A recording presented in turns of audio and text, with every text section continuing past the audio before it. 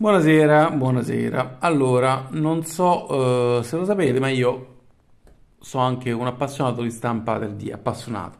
Stampicchio qualche cosa ogni tanto, no? Allora, qualche anno che ho questa stampante, una Longer eh, LK2. Sono soddisfatto, funziona bene. L'unica cosa è che ogni volta che stampo, visto che stampo magari una volta ogni 15-20 giorni, una volta al mese, è che c'è ogni volta da rifare la calibrazione del piatto. Allora mi sono finalmente deciso e ho comprato questo kit. Questo kit cos'è? È un kit per installare un sensore BL Touch. Tiriamo fuori. Cos'è il sensore BL Touch? È questo sensore qui. Allora, normalmente le stampanti 3D hanno questo qui. Questo qui è un fine corsa, vedete qui c'è una, un interruttorino, questo è il connettore, questo è l'interruttorino, e quando arriva diciamo a zero, l'interruttorino scatta, ora ve lo faccio vedere, e eh, la stampante, vedete, adesso tiro su, vedete, l'interruttorino sta su, e quando scende, questa qui è la vite dell'asse Z verticale, quando scende la stampante scende, scende, scende, scende fino a quando non arriva a zero, schiaccia l'interruttorino e la stampante capisce di essere arrivata a livello. Solo che se il piatto non è perfettamente liscio, e beh, tra la parte sinistra e quella destra, la parte avanti e quella dietro possiamo avere delle differenze.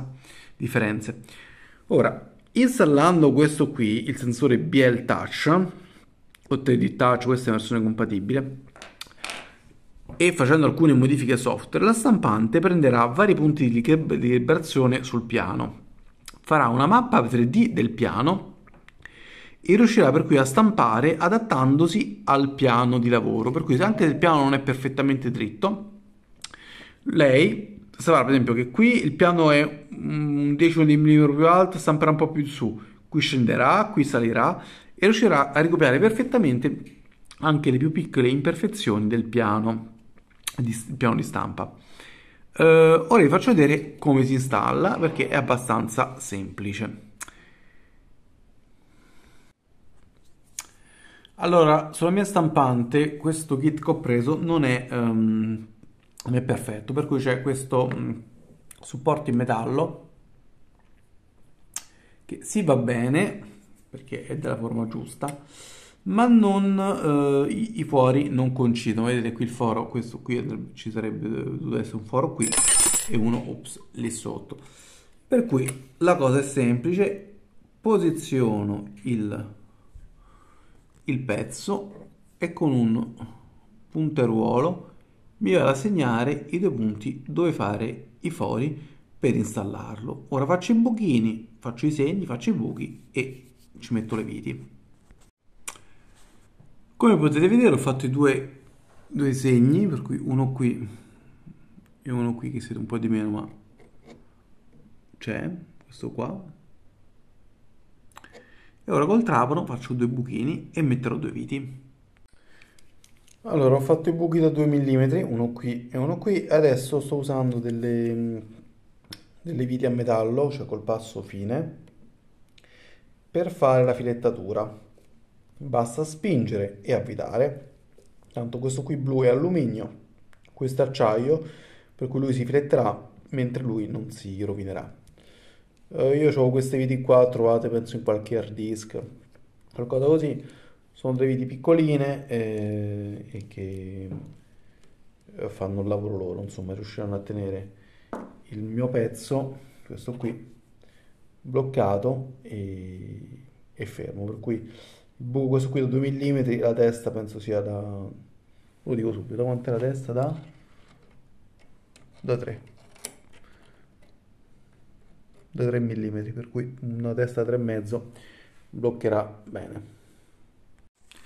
Ed ecco fatto, il supporto è installato, ora devo rimontare questo qui le, con le ventoline e, e niente, e poi comincio a installare il sensore. Ed ecco fatto, ho installato il supporto delle ventole e il nuovo supporto per il sensore. Ora mettiamo il sensore che è dato con queste viti che secondo me sono enormi. Mm, boh, boh, se ho qualcosa di più corto perché qui mi sembra veramente esagerate, cioè qui basterebbe una roba da... Da quanto va? 4 mm, ops, scusate. Aspettate, eh. C'è un po' fuoco, sì, ecco. Da 4 mm invece ci hanno messo una roba da non lo so, da 5, da, da, da 2-3 centimetri. Allora, nel mio stock di video ho trovato queste vitarelle qui e vedete che vanno proprio perfettamente perché questa parte qui è filettata, per cui ho messo il cavo, ora installerò il, il sensore con le viti e niente, funziona perfettamente e le viti stanno veramente a filo. Faccio vedere adesso il risultato finale. Ed ecco fatto il sensore è perfettamente installato se uno vuole ma proprio a volerlo potrebbe mettere sopra i, i dadini ma secondo me non servono già questo uh, è, è evitato bene alle brutte se uno vuole magari una goccina di colla o di, di loctite uh, per non farla svitare ma secondo me non si svita comunque da vedere col tempo il sensore è collegato col suo capo ora faccio passare i cavi dentro, uh, dentro la guaina e poi ci cominciamo a smontare qui sotto per collegarli.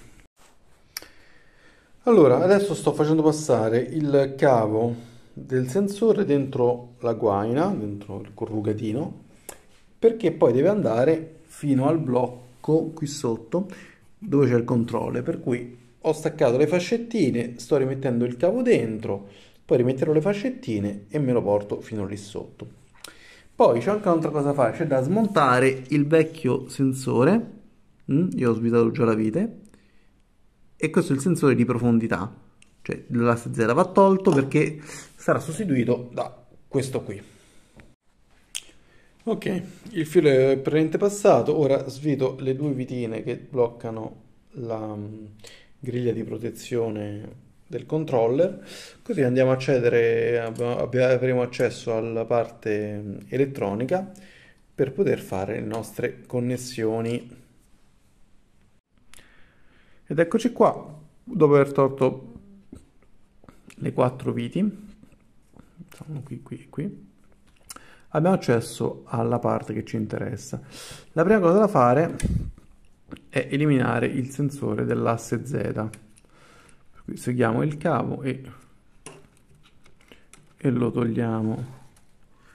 E questo qui c'è anche scritto sopra Z su questa piccola fascetta e lo togliamo. Ecco fatto ora dovremmo procedere al collegamento di questi due cavi dopo aver fatto una piccola modifica Adesso, allora, un, una, uno step molto importante. Guardate bene la piedinatura del connettore. Il verde è il ground e il giallo è il 5 volt. Il bianco è il segnale, mentre il nero è di nuovo il ground e il, il rosso è il, diciamo, il positivo dello Z, cioè del fine corsa dell'asse verticale. Sapendo questo, noi ci andiamo adesso, adesso Andiamo qui, andiamo qui. Allora, il nostro connettore, questo qui, è il connettore dell'asse Z e lo rimettiamo dove abbiamo tolto quello vecchio e infatti il connettore poi ha la stessa forma. Questo qui non importa uh, il senso perché tanto non, um, non c'è differenza tra positivo e negativo, per cui lo andiamo a rimettere dove abbiamo tolto il vecchio connettore. Mm? Qua Invece è più importante, molto molto importante, questo connettore qui. Ora, su questo connettore qui noi dobbiamo avere nell'ordine, partendo dalla sinistra, il ground, 5 volt e PWM. Ora, come abbiamo visto qui, il, uh, il ground è il verde, Ora, come vedete, questo connettore, il verde è stato messo invece al centro. Ora noi, premendo su questa linguettina qui, questo qui al centro, mm, dovremmo tirare fuori i connettori e metterli nell'ordine appunto ground, 5 volt, PWM. Ecco fatto, ho rifatto il connettore, allora praticamente ehm, ho scoperto che è molto più facile alzare queste parti nere, queste linguette qui si alzano con un cacciavitino piccolo e si riesce a togliere il connettore facilmente. Ora, noi tra il bianco e il giallo, ovvero tra il PWM e i 5 volt, dobbiamo mettere, mettere una resistenza da 100k o da 50k. Ora semplicemente io la metterò così, incastrata così, tanto questo qui non è qualcosa che si muove. Ora la metto e vi faccio vedere. Ecco la nostra resistenza installata, adesso un giro di scotch per bloccarla e siamo a posto. Ed ecco terminata l'installazione, ricordiamoci che il verde è la terra, il ground, e va messo a sinistra. Questo è il connettore dell'LCD, per cui il verde mettetelo a sinistra. Se volete potete bloccare con un po' di colla a caldo in modo che non si muova. Ora non ci resta che rimettere il coperchietto e installare il nuovo firmware. Allora, adesso dobbiamo connettere il nostro sensore di, um, di altezza, quello che prima era lo, lo, Z. Lo connettiamo dove era connesso l'altro. L'unico problema è che qui i cavi sono invertiti. Io dovrei avere il nero a destra, il nero dovrebbe stare sulla parte esterna della scheda e il rosso nella parte interna, per cui schiaccio le due clips argentate e inverto i cavi. Ok, chiavi invertiti, mettiamo lo spinotto, siamo a posto e continuiamo con i collegamenti. Allora, l'ultima cosa che ci resta da fare è copiare questi due file, vi metto il link in descrizione, sulla carta SD. Li copiate, li mettete nella stampante, riavviate la stampante, la stampante è accesa, mettete la scheda, ria- spegnete, riavviate, qui vedrete due barre di progresso e la stampante si riaccende. Ora, se andiamo dentro leveling e facciamo la home, vediamo cosa fa.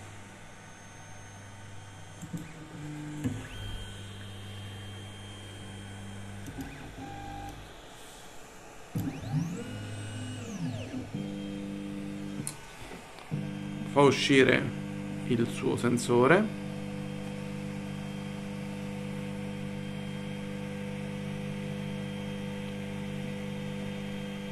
e fa l'home al centro. Ora riprova per maggior precisione. Ed ecco fatto. Ad, e, ad, e così possiamo avere lo, lo zero. Ora c'è da devo fare ancora la calibrazione per dire a che altezza eh, lo 0 corrisponde con lo 0 del, del, della testina lo faccio e vi faccio vedere come si fa dunque dopo aver installato il sensore collegate il cavetto usb al computer e lanciate il software che si chiama Pronter Face, Pronter Face. Poi vi metterò le istruzioni qui, ci sono questi comandi qui da fare. Mm? Qui potete semplicemente copiarli. Vedete, ogni volta fate copia, CTRL C, poi andate dentro il software, dentro il software prodotto fate connect per connettervi alla stampante. Qui vi dirà connessione in corso. Se non ve la fa qui cambiate la porta perché forse non è la COM 1 ma forse è la COM 3 fate di nuovo connect. Ed ecco vedete è online dipende da quale com avete qui sotto in basso mettete i comandi CTRL V invio il comando è inviato alla, alla stampante e la stampante farà quello che gli stavo detto. Ora gli ho detto di fare homing, eh, però vabbè l'aveva già fatto. Poi G28, per cui facciamo un tab. Anche qui un'altra volta G28. Adesso vedete fa la, la home del, um, dei vari assi come indicato anche nel manuale. Nel manuale. Anche nel, nelle istruzioni.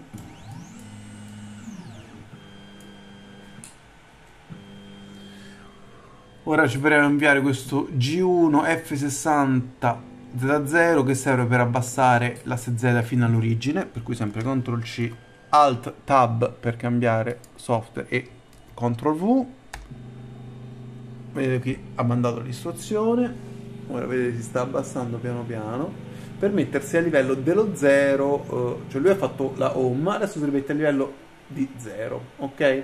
A livello di riposo. Al tab rivediamo le istruzioni facciamo un M211S0 per disattivare la protezione perché questo comando evita cioè, mm, diciamo, questo comando serve per permettere al vedete abbiamo tolto l'end stop per cui lui può scendere sotto livello adesso lui pensa che lo, lui pensa adesso di stare a zero per cui diciamo che non può andare sotto perché vorrebbe dire mm, andare sotto il piano di stampa. Con questo parametro qui diciamo che può andare sotto il piano di stampa. Perché facciamo questo? Perché adesso adesso dobbiamo mettere un pezzo di, eh, di carta se ci avete se no anche uno spessino so prendere un pezzo di carta lo mettete sotto. Il pezzo di carta di solito fa 00 mettete un pezzo di carta. E cosa fate? Adesso scendiamo piano piano con il, con il software con questo qui. Vedete qui abbiamo, avete questo z. 10 vuol dire che scende di 1 cm 1 1 mm 0,1 vuol dire che scende di 0,1 eh, mm ora scendiamo qui questi qui sono i valori impodiosi così sale, mentre così scende, per cui se vogliamo scendere di 0,1 mm clicchiamo qui, di 1 mm qui, di 1 cm qui, clicchiamo qui, adesso guardate, vi faccio vedere cliccando lì, guardate, è sceso di 1 mm, ora 1 mm è abbastanza per la prima volta nel mio caso, scendiamo di 0,1 mm e vediamo se il foglio si muove liberamente ancora sì adesso riclicco di nuovo scendi ancora un altro po' e, e vedo ecco il foglio adesso invece è preso. Ora risalgo di 0,1 e il foglio va bene. Per cui ora vedo però che no niente ma mi sembrava ci fosse un po' di um, un po' di, um, dire, di, di filamento che usciva ma invece no. Diciamo che tra questo qui in cui il foglio usciva bene e invece lo scende di 0,1 in cui il foglio è molto bloccato preferisco questo. Perché che succede? Qui mi segno il uh, adesso aspettate rivado di nuovo qui e cosa faccio? Adesso faccio questo comando qui, il M114, me lo copio, questo comando qui mi dirà la posizione attuale e la vedete qui, è questa qui, Z-1.1, ovvero sono sceso di 1 mm e cioè di 1,1 mm. Ora cosa faccio? Andiamo qui e prendiamo questo nuovo comando, ovvero l'M851Z andiamo qui dentro. Questo comando qui cosa ci mettiamo qui dentro? È z vedi z e mettiamo il valore che abbiamo preso qui il valore di prima per cui z meno 1.1 invio. Abbiamo detto alla stampante di registrare che rispetto al valore prima di 0 in verità lo 0 adesso gli facciamo salvare la nuova posizione ehm, il nuovo 0. Adesso lui sa che veramente il nostro piano di stampa sta a 1,1 mm in meno di quello che pensava prima. Quindi lui adesso conosce la nuova posizione. Facciamo l'M500 per salvare. Allora, evidentemente le, eh, i comandi potete farli anche a mano, cioè qui bisogna fare M500, potete semplicemente fare M500 invio e infatti l'ha salvato Dopodiché sendiamo, scusa, sendiamo, facciamo il comando qui questo comando qui che serve per riattivare il um, land stop, ovvero per evitare che, diciamo, che il piano possa andare sotto lo zero, vedete? Abbiamo riattivato uh, l'end stop, ovvero adesso lui il piano sa dove sta lo zero e sa che non può andare sotto lo zero per evitare appunto che, il, che il, la, la testa di impressioni possa andare a sbattere contro il piano di stampa. Niente, facciamo adesso il nostro G28Z per fare lo home e per finire ci prendiamo questo comando qui per vedere se è tutto a posto vediamo un po'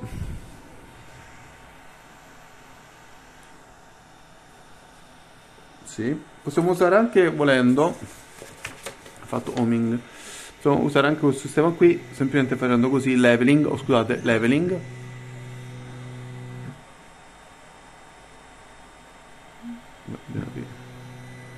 Sto facendo leveling. Rifacciamo perché si vede che ecco fatto. Ok sto facendo di nuovo perché si vede che non aveva preso rispetto al comando che gli avevo mandato prima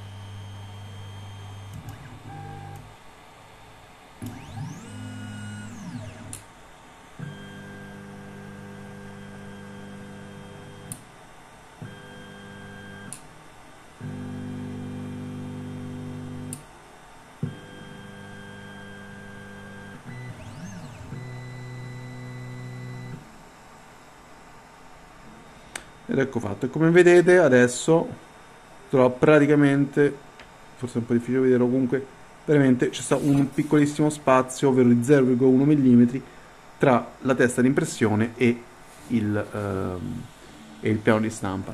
Per cui la calibrazione sarà fatta correttamente non vi resta che iniziare a stampare.